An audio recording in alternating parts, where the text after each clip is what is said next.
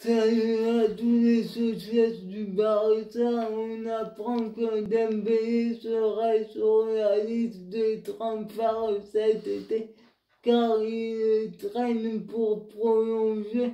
Est sous contrat jusqu'en juin 2022.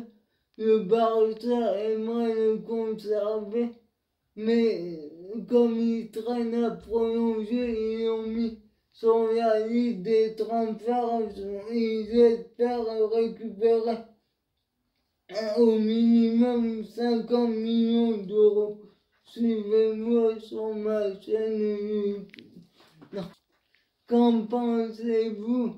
Moi, je pense qu'il ne devrait pas partir. Il fait l'avenir du Barça avec Messi.